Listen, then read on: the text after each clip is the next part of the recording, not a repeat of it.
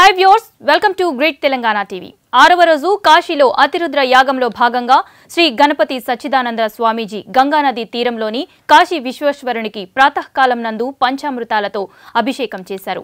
ఆరవ రోజున అతిరుద్ర యాగంలో భాగంగా ఈరోజు చండీ హోమం అమ్మవారి దుర్గాదేవి మూల మంత్రాలతో చండీ యాగాన్ని వేద ఋత్వికులు చేసిన అనంతరం అతిరుద్ర యాగానికి శ్రీ గణపతి సచ్చిదానంద స్వామీజీ పూర్ణాహుతి సమర్పించారు. శ్రీ గణపతి సచ్చిదానంద స్వామీజీ వారు భక్తులనుద్దేశించి మాట్లాడుతూ కార్తీక మాసం అనేది హరిహరులకు అత్యంత ప్రీతికరమైన మాసమని అన్ని మాసాల్లోనూ ఈ కార్తీక మాసానికి ఒక ప్రత్యేకతను కలిగి ఉందని మన వేదాలు పురాణాలు చెప్తున్నాయని శివునికి విష్ణువుకు ఇద్దరికి ఎంతో ఇష్టమైన మాసం కావున ఈ మాసం ఏ దైవ కార్యాలు చేసినా మానవాళికి వారి శుభ అనుగ్రహం పొందటానికి తగిన మాసమని దీనికి ఎంతో ప్రాశస్యం కలిగి ఉందని శ్రీ గణపతి సచ్చిదానంద స్వామీజీ వారు భక్తులనుద్దేశించి మాట్లాడారు.